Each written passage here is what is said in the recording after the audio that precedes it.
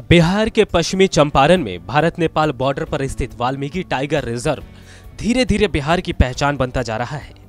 यहाँ की प्राकृतिक छटा ऐसी है कि आपको शिमला, मनाली की याद आ जाएगी।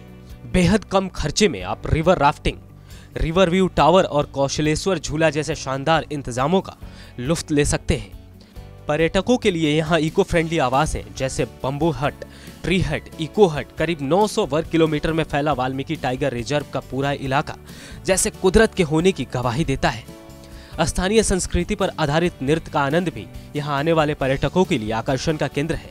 नीतीश सरकार ने पर्यटन को बढ़ावा देने के लिए राफ्टिंग से लेकर जंगल सफारी तक का किराया कम कर दिया है। बता दें, यहाँ वन विभाग के bamboo hut, tree hut, jungle camp और टेंट कैंप के वातानुकूलित और सामान्य कमरों में एक साथ छियालीस लोगों के ठहरने की व्यवस्था है। बिहार के इकलौते टाइगर रिज़र्व में 9 साल में बाघों की संख्या पाँच गुना हो गई है। साल 2010 के सर्वे में यहाँ आठ बाघ मिले थे। देश भर में बाघों का सर्वे पूरा हो गया है। पर्यटक यहाँ बाघों को आमने सामने देख सकते हैं, उनकी फ़ोटो खींच सकते हैं।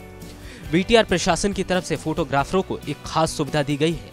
जो भी फोटोग्राफर हैं, वे फ्री में वाइल्ड लाइफ फोटोग्राफी कर सकते हैं और उनकी खींची हुई तस्वीर वीटीआर की वेबसाइट पर भी लगाई जाएँगी इस टाइगर रिज़र्व की सबसे बड़ी खासियत है कि देश विदेश से आने वाले पर्यटकों के लिए सरकार ने इसे इको फ्रेंडली बनाया है यहाँ पर्यटकों को मिलने वाली सारी सुविधाएँ इको फ्रेंडली हैं। इन पहाड़ों, नदियों और जंगलों के बीच साइकिल से जंगल सफारी जंगल के बीच गंडक में राफ्टिंग का आनंद नेपाल की हसीन वादियों का दर्शन मेडिटेशन सेंटर एवं योग केंद्र में निरोग रहने की कला सीखने को मिलती है।